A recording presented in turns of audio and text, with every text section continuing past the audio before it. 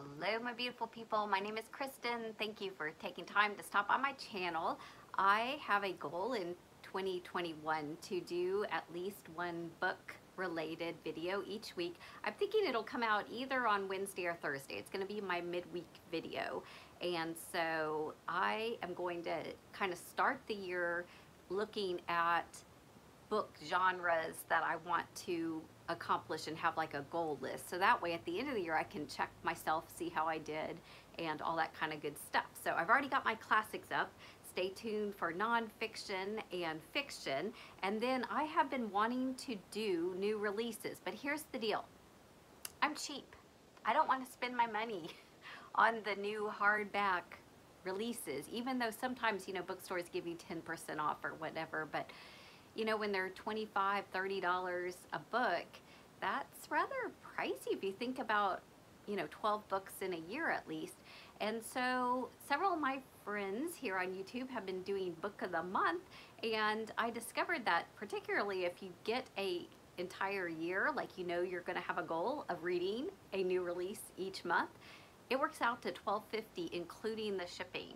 Comes to your house, you get to pick from, you know, four to six different choices of books that come out. So I decided to pull the trigger and do that because I, I can do that. So now I am definitely going to read one classic, one nonfiction, one older fiction, and then one new release. And then of course I'll read whatever I can get to in that month. But I think that's a great goal. So at least a book a week, right, is the goal. So I'm not sure. It comes in this beautiful cobalt blue, one of my very favorite colors.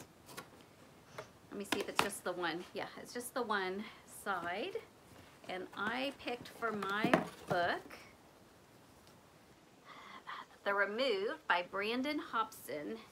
And let me see if it have what they what all they give. This is my first one. So if you do this, I think if you don't do the annual, it's $14.99 a month, which is still really good because that's like shipping. I mean, that's how much it is to ship something, y'all.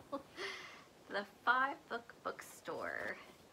No algorithms, just humans. We're keeping it 100 at nearly 100.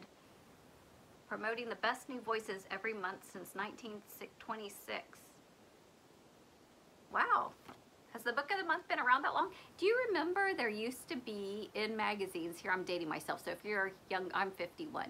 So there used to be like in magazines or even in the back of books, there would be like where you could send off for new books or like order, you know, book subscriptions kind of thing. Because it was like magazines and books were what you got. We didn't, we didn't really have the internet and digital. There was no ebooks. So Anyway, this is just a little promo. It doesn't tell me anything about my specific book. And then I'll wait here. Look, it's a cute little bookmark. I'll wait here. Get it? it's the little things, y'all. I'm totally going to save all those and put them with my bookmark collection. So let's see what the cover says. In the 15 years since their teenage son Ray Ray was killed in a police shooting, the Echota family has been suspended in private grief.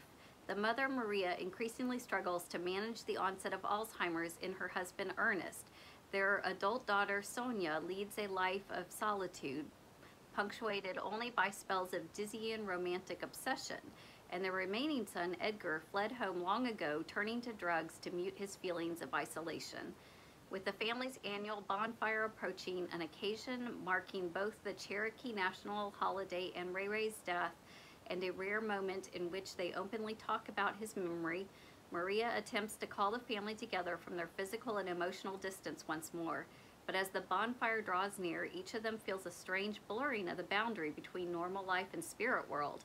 Maria and Ernest take in a foster child who seems almost miraculously to keep Ernest's mental fog at bay.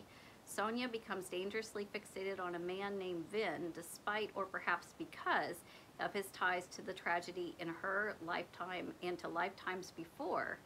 And in the wake of a suicide attempt, Edgar finds himself in a darkening land, a place between living and dead where old atrocities echo. Drawing on Cherokee folklore, the removed seamlessly blends the real and spiritual to excavate the deep reverberations of trauma, a meditation on family, grief, home, and the power of stories on the both personal and ancestral level. So it sounds a little heady, to be honest, and I have been, I'm trying to think, three, four, four Native American reservations doing missions or cultural exchanges, going to several powwows. I had the deep honor of attending a sweat lodge, and I'm just very appreciative and enthralled and intrigued by so many of the Native American traditions and folklore and just learning about that particular prejudice and bias that you know we continue to kind of harbor without even realizing it sometimes and just realizing that those reservations become like almost a third world country within our country and so there were several aspects of this book that just really appealed to me and spoke to me and thought that I could learn something even though it's a fiction book.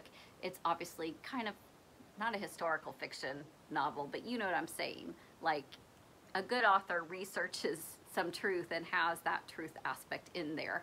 And so I just, I don't know, it will be one of my upcoming books in my book reviews, probably February, March at the latest. I may run two months behind sometimes, but depending on what it is that I have to read, but we'll see. So that is it. If you would like to do Book of the Month, I would strongly encourage you to use someone's link. I will leave mine below.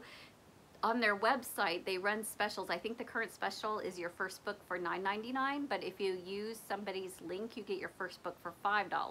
So use somebody's link and save that extra $5 off the first book, right?